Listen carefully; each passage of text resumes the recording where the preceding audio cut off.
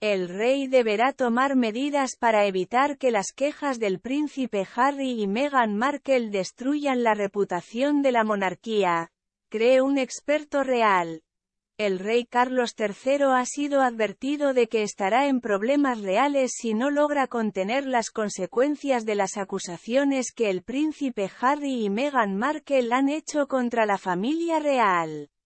En su nuevo documental de Netflix, el duque de Sussex acusó a los ayudantes de su hermano de informar negativamente a la prensa en su contra en el período previo a su salida de la institución. El autor real Christopher Andersen señaló que los golpes al príncipe de Gales podrían interpretarse como ataques a la monarquía misma, lo que resulta en la necesidad de un rápido control de daños para proteger la institución.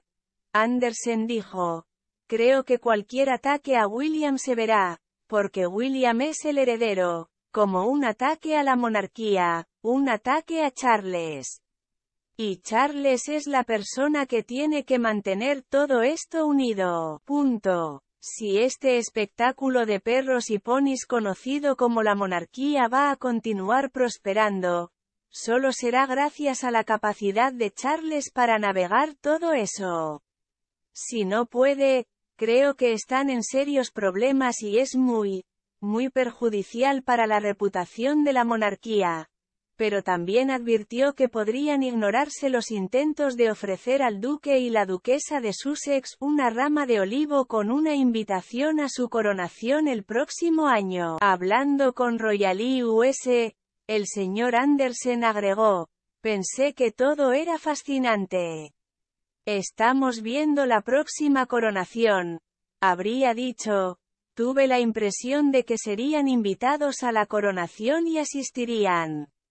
Ahora estoy empezando a preguntarme si incluso irían si fueran invitados. Están recorriendo un largo camino para cortar realmente todos los lazos con la realeza.